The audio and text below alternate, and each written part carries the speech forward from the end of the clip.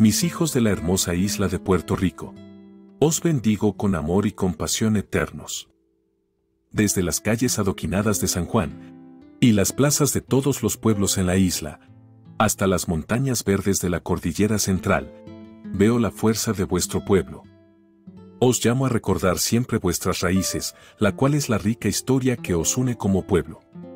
Desde los días de los taínos hasta la llegada de los conquistadores, desde los esfuerzos por la libertad hasta los desafíos modernos.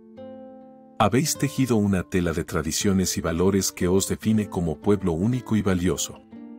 En cada momento que la naturaleza se manifieste, haciendo la tierra temblar y los vientos rugir, os insto a encontrar la fortaleza en vuestra unidad.